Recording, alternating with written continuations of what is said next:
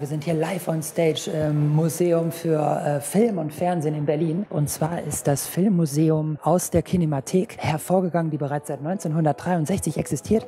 Und ähm, das äh, Tolle ist natürlich an diesem Museum die Architektur. Das Museum wurde von Hans-Dieter Schaal entworfen.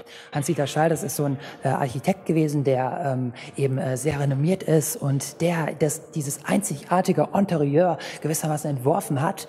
Und der erste Bereich des Films bezieht sich auf Pioniere und Diven des Films, also ähm, auf die Anfänge der Filmtechnik. Könnt ihr mal gucken?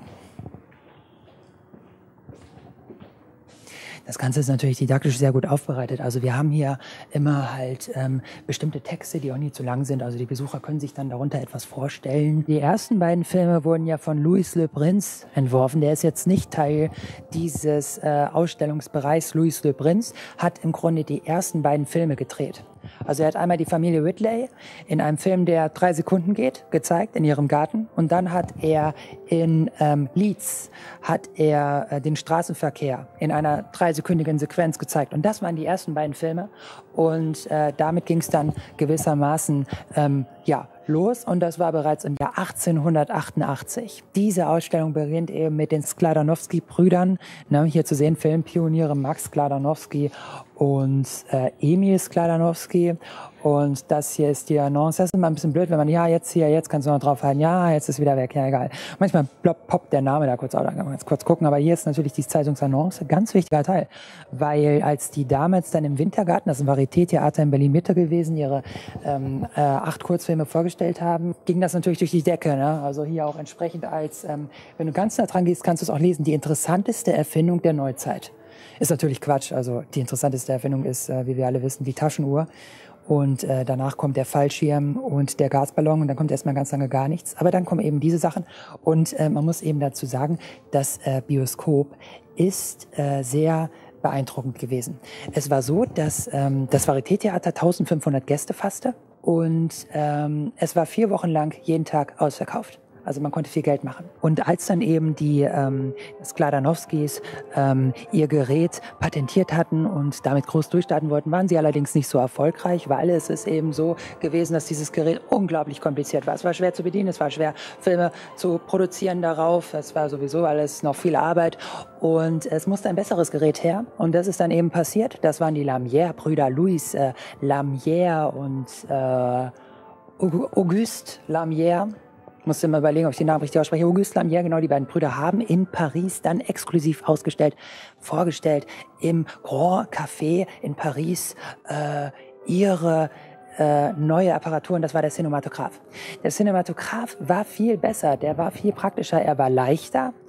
Das war sehr gut für das Wanderkino später und er war ja einfacher zu bedienen. Ne? Und ähm, das hat dann dazu geführt, dass das Bioskop mit Max Skladanowski und den Skladanowski-Brüdern ähm, zum letzten Mal 1897 dann vorgeführt werden konnte. Und Max Skladanowski, der war dann ähm, sehr traurig, hat sich zurückgezogen aus dem Filmbusiness, ähm, aber ist irgendwie ihm auch treu geblieben damit.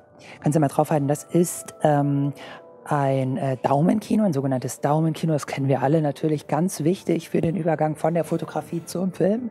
Und er hat dann eben seine Filme, die er mit seinem Bioskop nicht mehr vorstellen konnte, weil sich der Cinematograph durchgesetzt hatte, hat er dann seine Daumenkinos äh, ja, vertrieben, verkauft, ähm, rumgegeben und wie man hier schön sieht, äh, in edlen Lederetuis. Das äh, war eben dann natürlich der Oberhammer. Herrlich. Rechts daneben befindet sich ein Notiz- und Geschäftsbuch von Max Kladanowski. Auch sehr cool. Ja, und äh, Max Kladanowski ist eben auch auf dem Boulevard der Stars geehrt, mit einem eigenen Stern. Herrlich. Aber die Lamière-Brüder, die hatten dann den großen Ruhm. Kinos waren ja dann in ihrer Anfangszeit erstmal Wanderkinos. Also die Leute sind rumgewandert von Ort zu Ort, haben sich ein paar Tage dort niedergelassen und dann ihre Filme vorgestellt. Und ähm, je nachdem, wie erfolgreich sie waren, waren sie dann auch wieder schnell verschwunden. Also es ist in der Tat so, also das Prinzip war ähnlich wie beim Zirkus. Und die ersten ortsfesten Kinos, die gab es dann so um 1906. Die haben sich dann ähm, in großen Städten hauptsächlich äh, versammelt und ähm, waren auch keinesfalls tonlos. Also sie hatten dann auch schon eine gewisse Akustik. Oft war es so, dass äh, ein Pianist die äh, Filme musikalisch begleitete oder äh, dass ähm, ein Grammophon zu dem Film spielte. Das heißt, der Stummfilm war im Grunde gar nicht wirklich stumm. Und ähm, eine Apparatur, die auch sehr gut geeignet war, also die Filme akustisch zu unterstützen, eine ganz eigene Tonspur hatten sie ja noch nicht, war zum Beispiel der äh, Phonograph von Thomas Edison bereits im 19. Jahrhundert erfunden. Ja. Der ist natürlich sehr präzise gewesen, konnte nahezu lippensynchron den Film dann eben begleiten. Es ist natürlich viel los gewesen, also auch wirtschaftlich. Ne? Das Kino ist Anfang des 20. Jahrhunderts gewachsen und hier zu sehen ist zum Beispiel dann auch Henny Porten.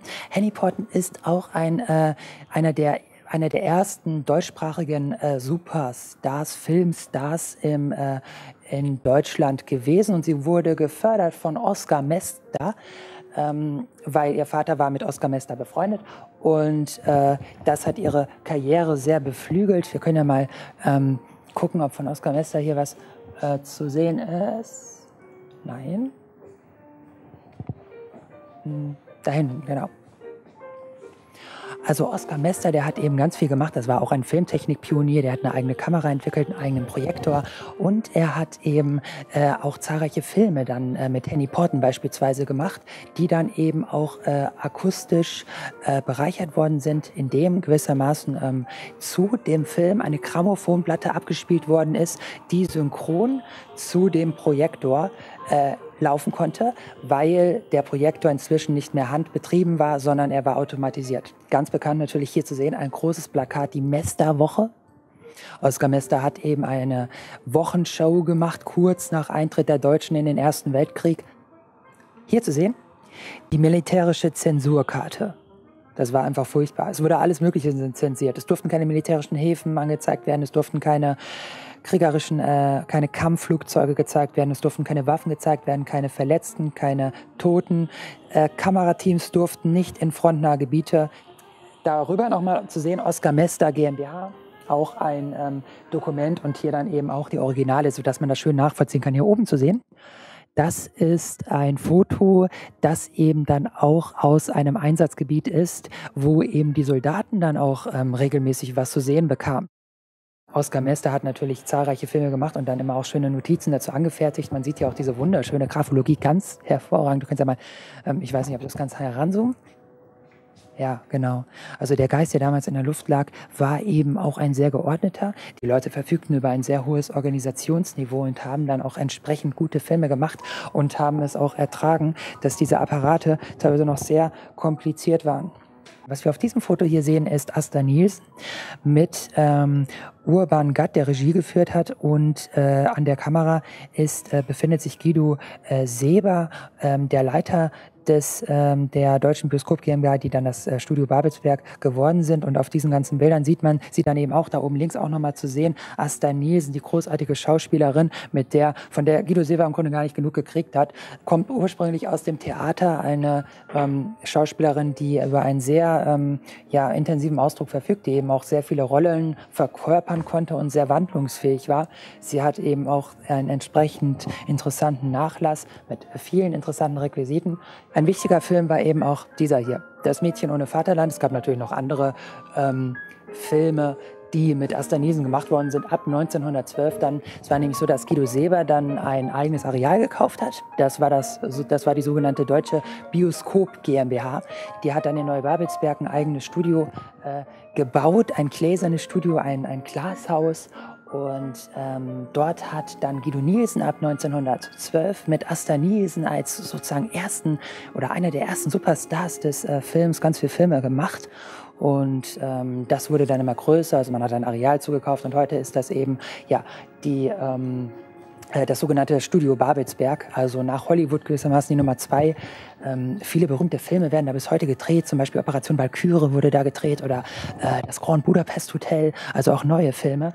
Aber eben auch mit Marlene Dietrich, Der blaue Engel oder Metropolis, ein ganz berühmter Film, der auch Teil der Ausstellung ist. Alles im Studio Babelsberg. Und hier zu sehen, du kannst ja mal draufhalten, ist eben die Bauzeichnung. Also man sieht eben dieses beeindruckende Bauwerk. Es war ja wirklich groß. Und inzwischen, inzwischen ist das Studio Babelsberg eben Welt weit äh, eines der wichtigsten äh, Studios für Filmproduktion. Es besitzt 460.000 Quadratmeter Areal, auf dem dann Filme gedreht werden. Und ein ähm, weiterer Superstar, der der ersten Tage des Kinos. Ist Fernandra hier zu sehen. Sie ist nicht mehr ganz so bekannt wie vielleicht Asta Nielsen oder Henny Porten, aber eben auch ein wichtiger Star des frühen Films. Und ähm, demnach dann halt auch entsprechend hier ausgestellt. Ähm, was aber auch wichtig ist, es ist ja nicht nur so gewesen, dass ähm, der frühe Film keineswegs stumm war, wie zum Beispiel die Produktion von Oskar Mester zeigen, den sogenannten Tonbild, ne, äh, in dem er halt eine Grammophonplatte zum Film abspielen konnte, sondern die frühen Filme sind auch keineswegs farblos gewesen. Du kannst dir mal hier zeigen. Was wir hier haben, ist eine Virage. Den Film, den wir hier sehen, der ist grün eingefärbt.